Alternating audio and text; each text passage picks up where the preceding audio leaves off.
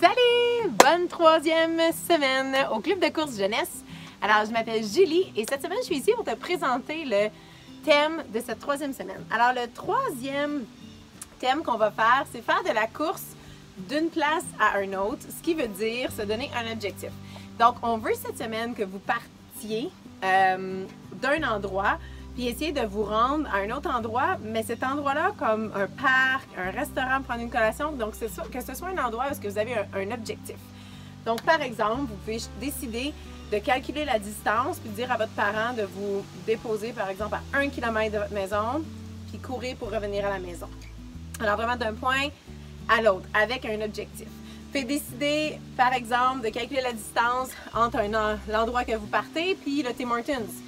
Euh, ou la crémière du coin ou un restaurant que vous aimez dans votre coin et décider d'aller euh, courir jusqu'à ce restaurant-là pour aller vous chercher une collation.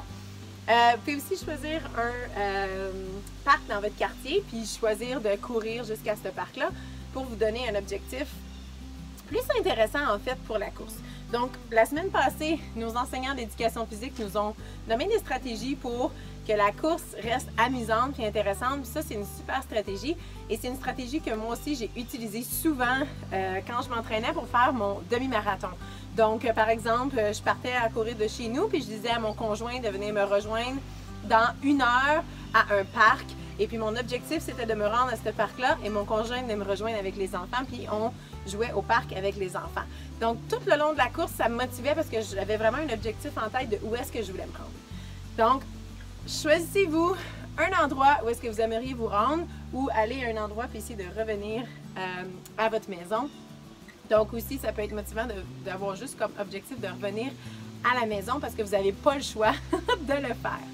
Donc, je vous souhaite une super belle troisième semaine. Revenez mercredi pour euh, le conseil de la semaine et puis vendredi, on aura une nutritionniste, Anne-Josie euh, qui va venir nous parler de la collation que vous devriez prendre avant l'entraînement, peut-être aussi après l'entraînement pour vous donner toute cette énergie.